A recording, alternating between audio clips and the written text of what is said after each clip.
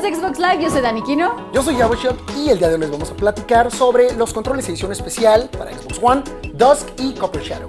Vamos a empezar con Copper Shadow, que como pueden ver, tiene un acabado en tonos cobrizos que se va degradando hasta llegar al color negro. Los gatillos están en tonos mate y los botones están también en tonos cobrizos. Claro, vienen con sus respectivas baterías y si te gustan las opciones sobrias y elegantes, esta opción es ideal para ti.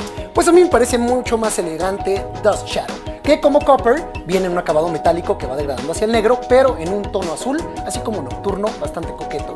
Cabe mencionar que ambos eh, controles ya son compatibles con la entrada estándar de estéreo 3.5 milímetros, así que le puedes conectar cualquier tipo de audífonos que sea compatible con dicha entrada. Recuerden que estos controles ya están disponibles en tiendas autorizadas. ¿Tú con cuál te quedabas, Gaucha?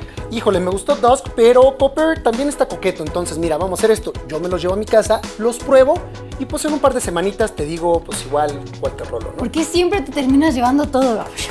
Mejor ustedes compártanos con cuál se quedarían en los comentarios en todas nuestras redes sociales. Estamos como Xbox México. Yo soy Dani Quino. Yo soy Gabo y los esperamos en la próxima. ¿Qué tal amigos de Xbox Live? Yo soy Gabo y el día de hoy te voy a hablar a detalle del nuevo paquete de consola Tom Clancy's Rainbow Six Siege.